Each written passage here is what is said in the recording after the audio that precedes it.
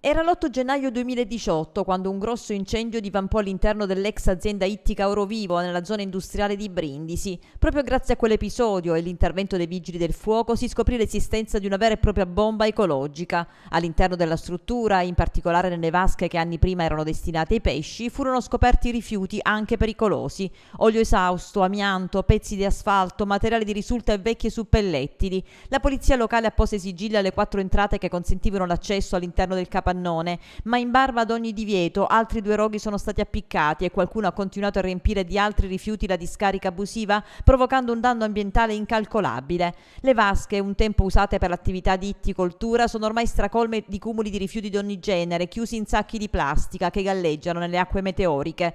Vasche che si ipotizza possano essere dotate di uno scarico sul fondo, dal quale fuoriesce percolato, con rischio inquinamento della falda acquifera. In questi anni nessuno ha mosso un dito, solo qualche giorno fa fa sul posto è tornata la polizia provinciale che ora procede a carico di ignoti per una serie di ipotesi di reati ambientali, mentre il Tribunale di Brindisi ha disposto il sequestro conservativo dell'intera area a garanzia di un eventuale debito della proprietà coinvolta in un procedimento giudiziario. Intanto, con la stagione estiva in corso, il rischio incendi è concreto, da qui la necessità di un urgente intervento di bonifica.